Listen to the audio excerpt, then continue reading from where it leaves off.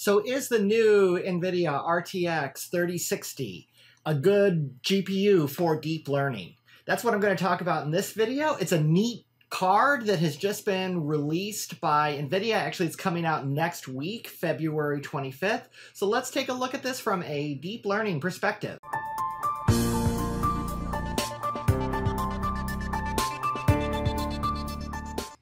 So, a lot going on here with various announcements related to this 3060 card. There was a blog post just really yesterday from NVIDIA talking about GeForce is made for gaming, CMP is made to mine. They're coming out with a new line of GPUs made just for crypto mining, in particular Ethereum, and other types of crypto mining that are still common on GPUs.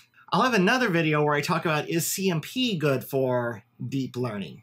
In short, no, it's not. But the 3060, I think, really is a great entry level card for deep learning from what I'm seeing. You can, and I don't have one of these cards available to, to me which is not some I'm not a hardware comparison channel, so that's not really something I'm looking to do at this point. But if we look at it, it's $329, assuming you're able to get one. And the way they're kind of blocking the crypto miners from this, you probably will be able to get one of these. We'll see how that all turns out.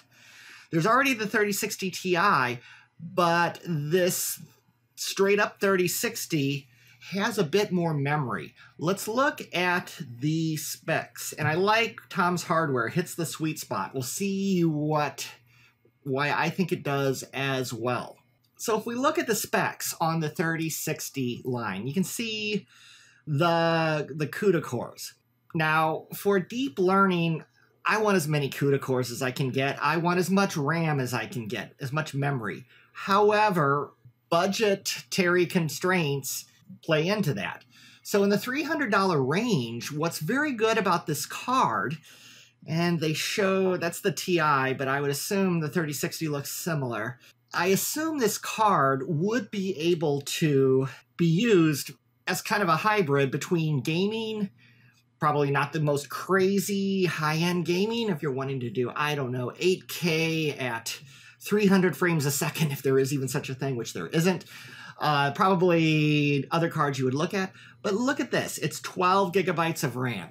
I've always found with the deep learning that I do with my class, with 90% of what I am doing, 12 to 16 gigabytes is kind of the, the, the sweet spot, really 10 to 10 to 16. At 12, you can do a lot of the GAN generations, even at 1024 by 1024. Now, it's going to be slow because you have the you don't have as many cores as the high end cards. You could, in theory, put multiples of these on the computer. You're not going to be able to NVLink them, but on something like GAN, it doesn't really care.